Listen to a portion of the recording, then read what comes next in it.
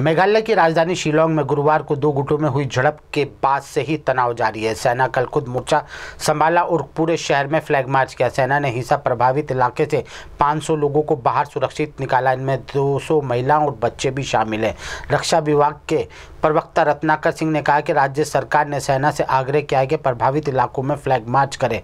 इस बीच मुख्यमंत्री कॉनरोड के सगमा ने उच्च स्तरीय बैठक कर हालात की समीक्षा की। शहर में कल तीन बजे के बाद से इंटरनेट बंद है। थाना लुबनगिरी के चौदह इलाकों में कर्फ्यू लगाया गया है। पूरे शिलोंग में रात दस बजे से सुबह पाँच बजे तक कर्फ्यू लगाया जाता है। विवाद का मूल वजह है बड़ा बाज़ार इलाके में कथित तौर पर एक निजी ट्रेवलर के बस चलाने वाले एक खासी समुदाय खासी समुदाय के ड्राइवर ने पंजाबी मूल की एक लड़की के साथ कथित तौर पर छेड़छाड़ की। इसके बाद लड़की के जानने वालों ने उस लड़के को बुरी तरीके से पिटाई कर दी। उस वक्त मामला पुलिस में पहुँच गया और शांत हो गया।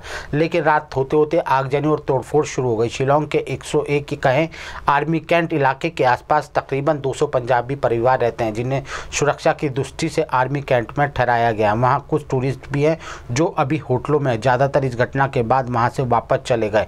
कल सीएम कॉनरेड सगमा और गृह मंत्री ने खासी लोगों से बात करने की कोशिश की, लेकिन कोई हल नहीं निकला। खासी लोग शिलोंग से पंजाबी बस्ती हटाने की बात कर रहे हैं।